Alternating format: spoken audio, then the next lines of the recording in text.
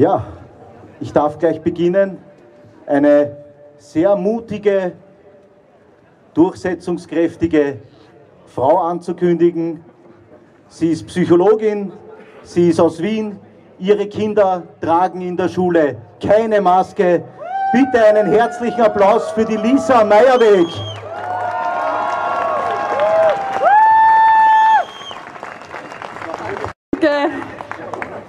Hallo, schön, dass alle da seid, trotz des Wetters.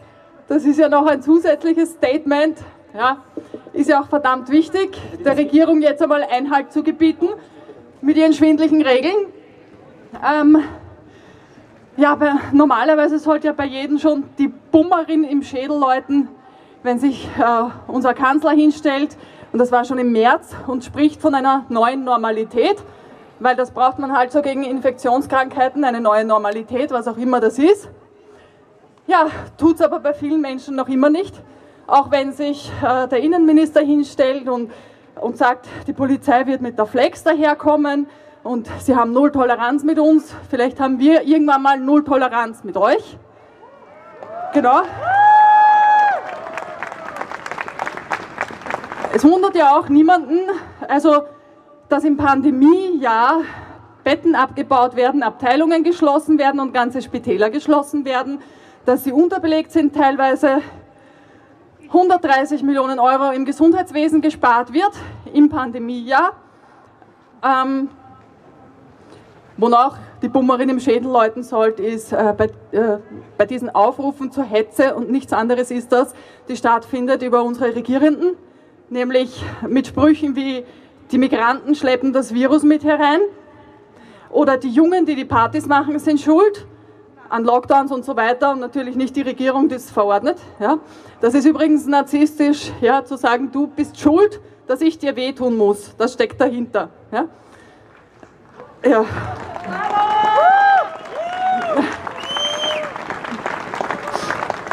Genau, was haben wir noch gehabt? Die Kroatien, Ur Urlauber sind schuld oder die Menschen, die erkrankungsbedingt keine Masken tragen können, obwohl jedem schon klar ist, dass sie ja vor dem Virus nicht schützen. Es steht auch drauf auf den Masken, braucht man keine wissenschaftliche Debatte mehr. Ähm, ja, das ist Hetze, Spaltung und Sündenbockpolitik. Und eigentlich hätte die Regierung die Verantwortung, wenn sie solche Entwicklungen in der Gesellschaft bemerkt, dem Einhalt zu gebieten. Das tut sie aber nicht. Ja? Äh, und diese ganzen Behauptungen sind natürlich evidentermaßen falsch. Ja? Ähm, das ist belegbar, das ist alles belegbar. Ähm, es ist halt nur bösartig, sowas zu verbreiten und es ist brandgefährlich, wie man weiß, ja? weil wir kennen das aus der Geschichte. Gut.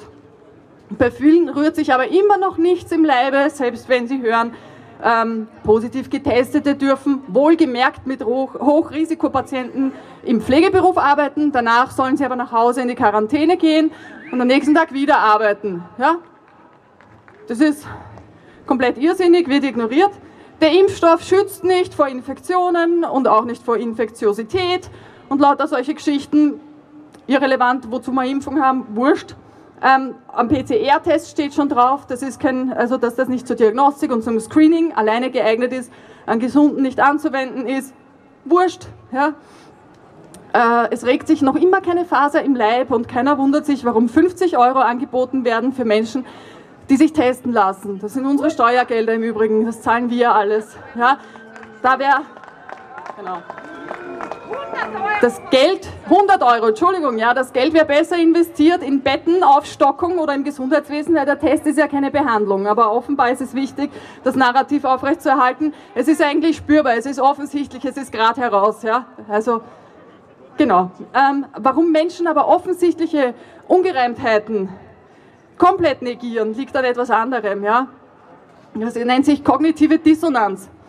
Die tritt immer dann auf, wenn Einstellung und Verhalten oder Einstellungen untereinander nicht zueinander passen. Und hier steckt die, ähm, der Glaubenssatz dahinter und das ist eine sehr, sehr stabile Einstellung. Ähm, da geht es nämlich ums Urvertrauen. Hier steckt der Glaubenssatz dahinter, die Regierung würde uns nie schaden, die Regierung würde uns nie etwas Böses tun. Ja? Genau. Obwohl äh, wir das auch aus der Geschichte kennen und äh, äh, jedenfalls ähm, werden diese Ungereimtheiten einfach wegnegiert, weil sonst müsste man sich ja, sonst müsste man sich ja eingestehen und das macht Angst, ja, wenn was anderes dahinter steckt. Was bedeutet das, ja? Wenn die Regierung uns eigentlich täglich irgendeinen Schmäh im Fernsehen erzählt und zwar so ähm, massiv, stündlich, egal wann man das Radio aufdreht, rennt das. In jeder Werbung kommt das vor. Sowas hat eigentlich einen Namen. Es nennt sich Propaganda. Und das kennen wir auch aus der Geschichte. Ganz genau.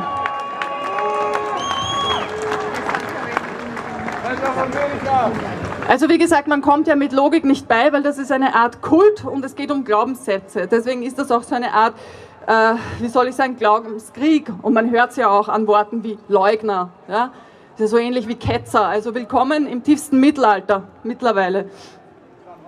Und äh, früher oder später kommen eh alle drauf, ja, weil Denunziantentum, Spaltung, Zensur, Hetze, ähm, Diffamierungen, Symbole, ja, das sind äh, keine altbewährten Mittel gegen Erkältungskrankheiten, sondern auch ein Zeichen von etwas anderem. Kennen wir auch schon.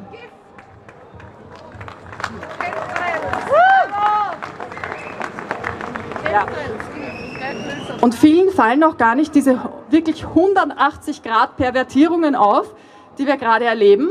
Nämlich alle Dinge, die wir gut nennen, sind plötzlich schlecht. Alles, was eigentlich äh, zutiefst menschlich ist, ist, wird verboten. Ja? Ähm, früher war es normal, dass man Sterbende begleitet. Dafür sind ja auch Institutionen wie Hospize gebaut worden, ja?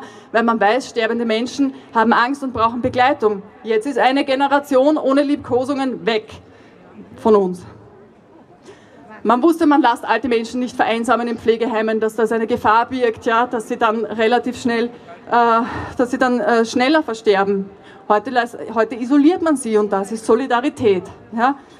Kritiklosigkeit ist die neue Eigenverantwortung, Distanz ist die neue Nähe. Also es finden hier 180 Grad Pervertierungen statt. Was hier stattfindet ist, dass man positiv konnotierte Wörter Scheußlichkeiten zuschreibt. Ja. Unmenschlichkeiten. Das ist Verwirrung durch Sprache, ja. Ähm, genau, früher war es auch ähm, gut, also galt es auch als gut, äh, sich zu umarmen und körperliche Nähe. Man hat auch gewusst, das stärkt das Immunsystem und der Mensch braucht das. Ja, genau. Und kein Abstand halten. Abstand halten ist inhuman, der Mensch kann ohne Berührung nicht leben. Also umarmt euch. Rückt zusammen.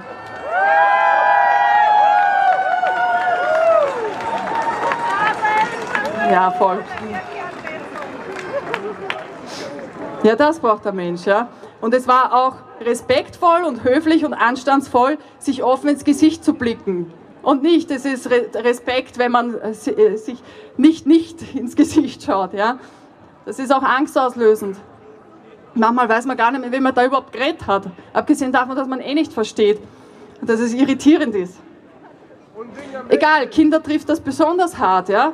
Also für einen Erwachsenen, der ja schon ein, ein ordentliches Bindungsverhalten gelernt hat und das schon verinnerlicht hat und der schon sozialisiert ist, der kann das einmal kurz, je nachdem, übertauchen. Ja? Aber ein Kind wächst in das hinein und lernt es gerade erst, und zwar so. Ja?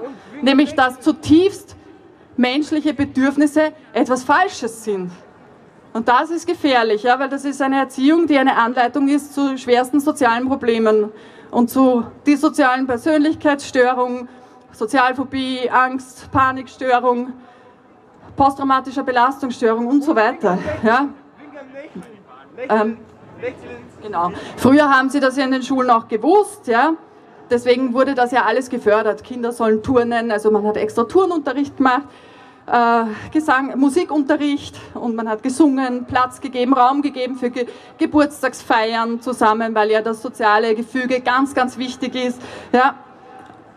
Und Platz für freies Spiel und Toben. Es gibt sogar Kuschelecken, ja, weil man ja weiß, wie wichtig so etwas ist. Und heute glauben die Leute, sowas zu verbieten, schadet natürlich nicht. Ja? Oder das nicht mehr anzubieten. Na, natürlich schadet das. Das ist schädlich, das ist ungesund, entwicklungsverzögernd und gefährlich für Kinder. Hier ist Gefahr im Verzug.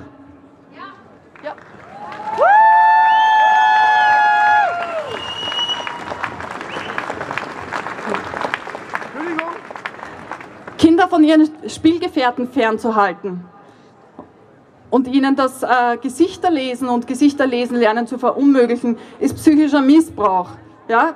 Kinder Masken aufzuzwingen, ist, ist psychischer Missbrauch und körperliche Misshandlung. Das hat auch der Kinderarzt Dr. Gregor Janssen erneut festgestellt. Ja? Ähm, genau. Er bringt auch diesbezüglich eine Klage in Den Haag ein und das ist längst überfällig. Richtig.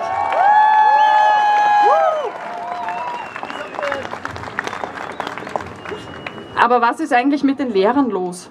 Es erreichen mich in den letzten Tagen wirklich unglaublich ungeheuerliche Leidensgeschichten. Bitte von Kindern, ja, in der Schule. Es werden Maskenatteste nicht akzeptiert. Ich meine, das ist eine Kompetenzüberschreitung sondergleichen, ja. Bleibt bei euren Leisten, okay? Wenn ein Arzt sagt, das ist aus gesundheitlichen Gründen nicht zumutbar, ist das zu akzeptieren, ja. Nicht, ist, egal. Ähm, ja. S, ähm, offenbar ja, ist es okay, dass man unmoralisch gegenüber Schutzbefohlenen handelt, solange die Bildungsdirektion haftet, weil das habe ich gehört. Ja. Naja, wir führen das ja nur aus. Das, diese Mentalität ist auch bekannt aus der Historie. Wir führen ja nur Befehle aus. Ja. Wir sind ja alle Roboter, also in Wahrheit könnte man einen Roboter hinstellen, da gibt man auch etwas ein, also man programmiert den und es kommt was raus, aber wir haben ja dazwischen ein Herz und ein Gehirn. Und deswegen, jeder ist für sein eigenes Verhalten natürlich selbstverantwortlich und niemand anderes. Und auch nicht die Bildungsdirektion.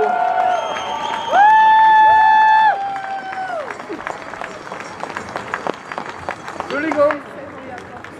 Entschuldigung. So, ähm, genau. Jetzt ist es soweit. Ab der Unterstufe müssen die Kinder jetzt, also ab zehn Jahren, müssen sie den ganzen Tag im Unterricht Masken tragen. Ja? Das ist. Oh, ja. Obwohl sie evidentermaßen psychisch und physisch Schaden anrichten. Ja? Also CO2-Rückatmung, über die CO2-Rückatmung, ja, dann ähm, sind es Bakterien und Pilzrasen in Wahrheit, ja, die da drinnen anwachsen. Sie verursachen einen Verlust des Identitätssinns. Ja? in Bezug zu sich selber. Das ist eine sensorische Deprivation und Isolation. Das sind MK-Ultra-Methoden, sonst gar nichts. Ja. Und sie traumatisieren, weil die Verpflichtung ist eine Nötigung. Das ist eine Nötigung und äh, verursacht Ohnmacht in den Kindern. Das ist Gewalt.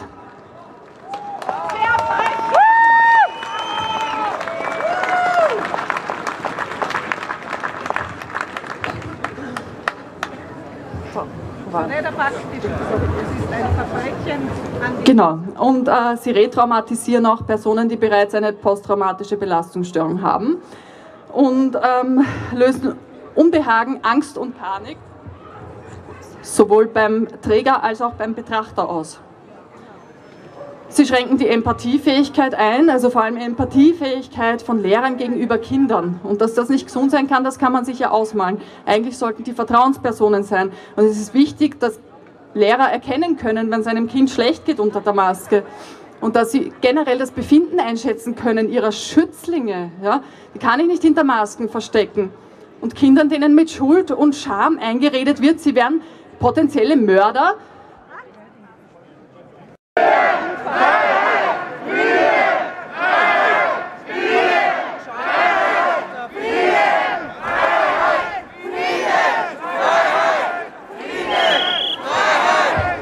Hallo? Oh, es geht weiter.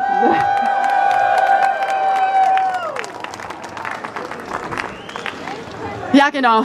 Was hatten wir noch? Ähm, die Empathiefähigkeit wird eingeschränkt und die Kommunikation. Sie sind irritierend und grotesk. Sie sind absurd und Kindern nicht zumutbar. Moment, Fassmann, Zitat, aber was kümmert mich mein Geschwätz von gestern? Ähm, Genau, sie sind eben absurd. Sie schützen mitnichten vor irgendwelchen Viren, das ist dumm. Und sie rauben einem die Luft zum Atmen und gehören verboten, in Wahrheit. Ähm, ja, liebe Maskenträger, ihr macht euch lächerlich, ihr zeigt euch zutiefst unsolidarisch mit den Kindern, die permanent genötigt werden, Masken zu tragen.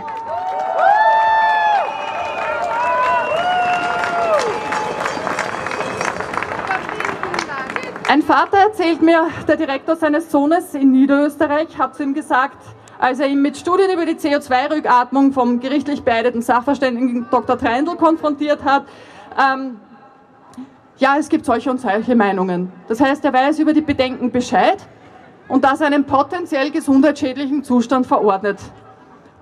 Also das reicht, ja, solche und solche Meinungen. Bevor ich so etwas überhaupt empfehle, hat muss man doch ausschließen, dass es irgendwie schadet. Und man hat da eine Bringschuld und die Regierung auch. Das muss vorher ausgeschlossen sein, bevor ich das irgendeinem Kind aufzwinge. Das, das ist nicht umgekehrt.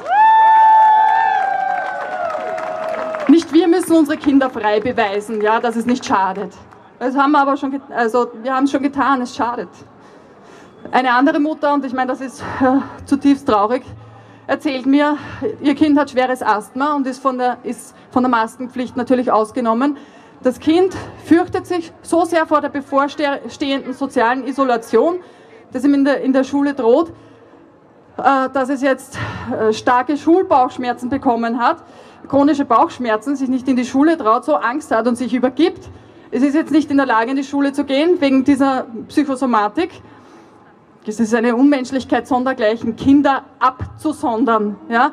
Das, da ist die Grenze des Sagbaren weit überschritten und wir kennen das auch aus der Geschichte. Ja. Ja. Ähm, genau, sie verurteilen die Kinder damit zum sozialen Tod und äh, das ist eine Gefahr für Kinder. Liebe Lehrer oder Lehrer, weil Liebe ist das nicht, Ihr macht das aus Angst und Obrigkeitshörigkeit. Hört auf damit.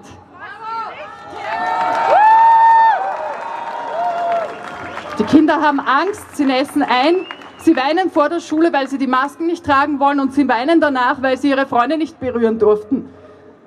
Ja, weg mit dem Symbol und schützen wir unsere Kinder, oder?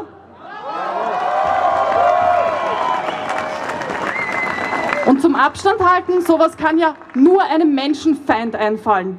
Ja, ein Nähebedürfnis ist etwas zutiefst ähm, menscheneigenes, ist ein Natur, ein, ein, ein positives zwischenmenschliches Grundbedürfnis, das nicht abtrainiert werden kann und auch nicht darf. Die Regierung unterliegt offenbar dem Wahn, dass wir ihre Untergebenen sind und sie über unsere Gesichter und unsere Atemwege zu verfügen hat. Ja. Ähm, das ist ein Akt der Gewalt. Dazu hat sie nicht einmal ansatzweise das Recht. Zeigen wir es ihr und halten wir uns an die Menschenrechte und an die Verfassung. Dankeschön.